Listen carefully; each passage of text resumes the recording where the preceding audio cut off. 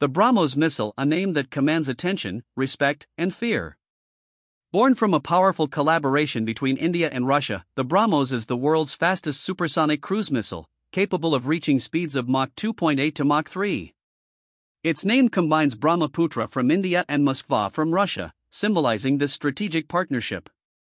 But this missile is more than just a product of international cooperation, it's a symbol of next generation precision strike capability and a cornerstone of modern Indian military power, developed by BrahMos Aerospace, a joint venture between India's DRDO and Russia's NPO Mashinostroyenia. The BrahMos missile was created to fill a critical need a high speed, low altitude, precision strike weapon that could penetrate advanced enemy air defenses and hit with devastating accuracy. The result?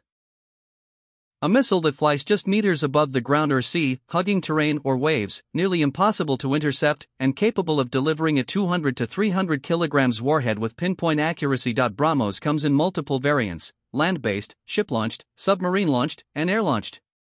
This gives the Indian military an unparalleled level of flexibility. From naval destroyers to frontline fighter jets like the Su 30 MKI, BrahMos can be deployed swiftly and decisively.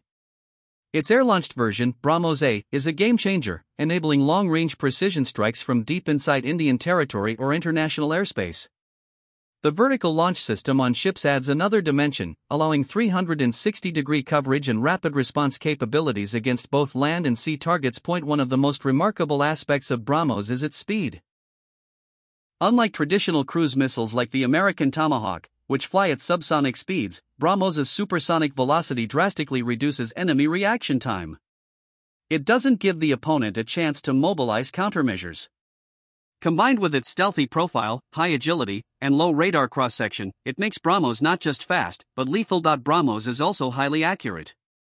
With a circular error probable CEP of under 1 meter, it is capable of striking fortified bunkers, radar installations, and naval vessels with surgical precision.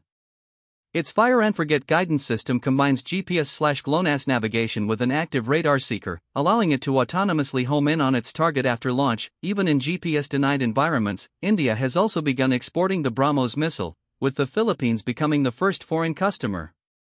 The export potential of this missile is vast. Countries in Southeast Asia, the Middle East, and even Latin America have expressed interest. Its proven combat capability, versatility, and speed make it an attractive option for any nation seeking to enhance its deterrence capabilities. Looking ahead, the BrahMos 2, a hypersonic version, is currently under development. Designed to reach Mach 7, it would push the boundaries of missile technology.